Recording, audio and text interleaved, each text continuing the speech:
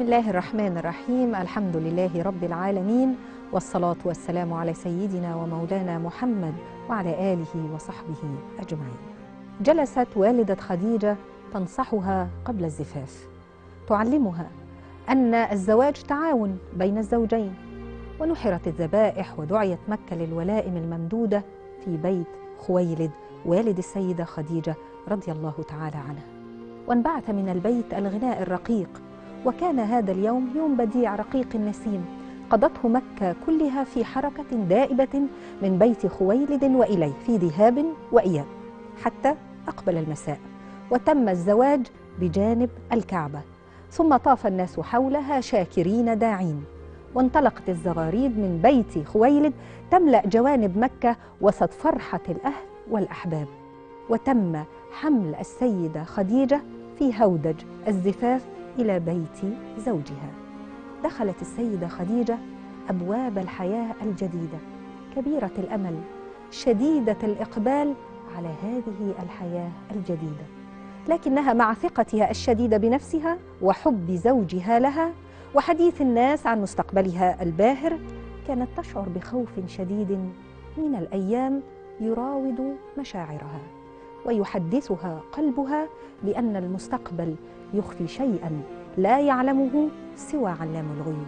منحت السيدة خديجة زوجها ما تمنحه المرأة العاقلة الفاهمة فقد أطاعته واحترمته وشجعته وفتحت له قلبها فوجد فيها عطفا حصل له به الأنس والراحة. لمس فيها حنانا ملأ أركان فؤاده وجعله يتعلق بها درجة أنها لا تغيب عن ذهنه لحظة واحدة. وجد معها السعادة التي يرجوها فاطمأن إليها ومنحها من قلبه مثل ما منحت.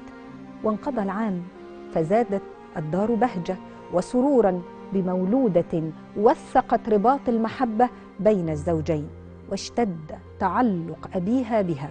فقد كانت كبيرة الشبه بأمها خديجة جميلة الصورة كريمة الخلق تبشر بمستقبل باهر.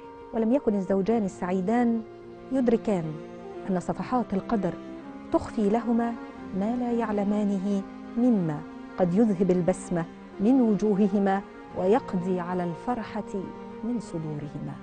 فلم يدر عتيق ولم تدر خديجة أن رحلة حياتهما معا قصيرة وأنه عما قريب سينفصم رباطهما المقدس لا بأيديهما وإنما بالموت.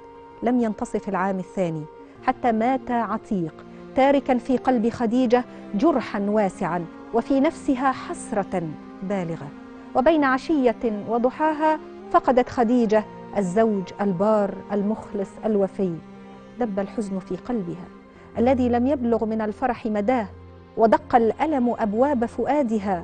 الأخضر اليانع لم تستطع الثروة العظيمة التي تركها لها. ولابنتها أن تنزع من قلبها ما نزل به من حسرة فراق زوجها.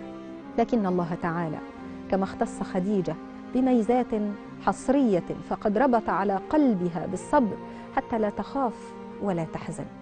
مرت الأيام والشهور والسنون وخديجة لا تفكر سوى في الاهتمام بابنتها وإدارة تجارتها التي تولت مسؤوليتها بعد وفاة زوجها عتيق. وفي ذات يوم دخل عليها أبوها وحدثها خديجة ابنتي الحبيبة. أعلم أن الحزن والألم صارا ملازمين لك لكن أنت تمتازين برجاحة العقل والجميع يعرف عنك سداد الرأي. يا خديجة يا ابنتي غير مقبول البقاء دون زوج حتى نهاية حياتك فسنة الحياة ماضية والعقل يأبى أن ينجرف الإنسان في أحزانه فتأخذه تلك الأحزان والهموم أخذا. وبيلا. قالت خديجة لأبيها يا أبتي تعلم أنني أحب الوفاء ومن الصعب أن يتحول فؤادي عن نسيان زوجي السابق. وقبل أن تسترسل خديجة في حديثها قاطعها والدها قائلا قضي الأمر يا خديجة فهذا ليس موطن المشاعر. اليوم يقول العقل والمنطق كلمته وقد تقدم للزواج بك النباش ابن زرارة التميمي. وأعلم عنه ما يمتاز به من حسب ونسب وأمانة ولم تمضي أيام طويلة حتى تزوجته رضي الله تعالى عنها. وقد وجد النباش في خديجة الزوجة الوفية العاقلة المدبرة فأخلص لها ومنحها قلبه وأحبها حبا شديدا. ووجدت خديجة في الزوج المخلص العطوف البار بأهله فبادلته حبا بحب وإخلاصا بإخلاص. وقد كان النباش زوجا عاقلا مقداما كريما. كثير المال واسع التجارة. فشاركته برأيها السديد كما كان عهدها مع عتيق. وزادها حبا وتقديرا له ما وجدت فيه من الكرم في معاملة ابنتها اليتيمة. وقد أحبها وأنزلها من قلبه منزلة الأبناء. ولم ينقضي العام الأول لزواجهما حتى اشتدت أواصر تلك المحبة. بين الزوجين برباط الولد الذي يهواه العرب ويحبوه ويكثرون الزواج من أجله ويحنون إليه إذا لم يرزقوه. وغدت خديجة مضرب المثل بمكة في تربية الأبناء. كما هي مضرب المثل في رعاية الزوج. ورزق الله خديجة ولدها الثاني. ومجددا تختبر الأقدار الإلهية خديجة في عزمها وعزيمتها. فلم تمر سنين عددا. حتى أدرك الموت زوجها الثاني وباتت خديجة مرة أخرى دون زوج. تصارع البقاء وحيدة وكعادتها. تغلبت خديجة بالصبر على مرارة الواقع.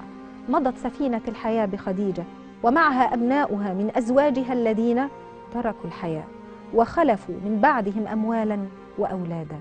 تكفلت خديجة برعايتهم وعنايتهم.